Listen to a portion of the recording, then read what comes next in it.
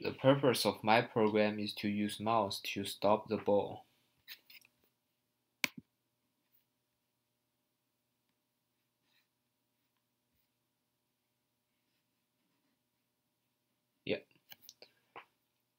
So here's how my program works. First, the ball says at booting up for 2 seconds. Then it says try to stop me with your mouse for 2 seconds.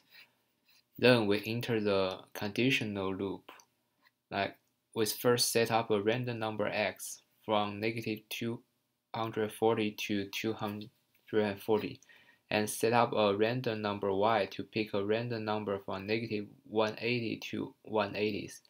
Then grade 0 1 second to random random number x and random number y. And then it it will like bounce in this this this the, the picture and I need to use my mouse pointer to point to the ball. Once I point to the ball, it will stop.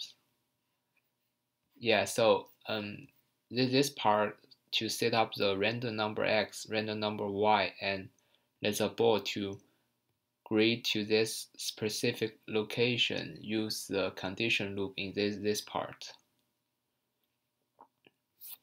And when my mouse touch, my mouse pointer touch the ball is a condition loop. Or it's a con yeah it's a con condition statement. When they meet this kind of condition it will stop.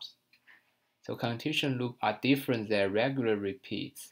Yeah in my program i cannot use a repeat and have a have to use a condition repeat because if i use repeat it will stop at specific time.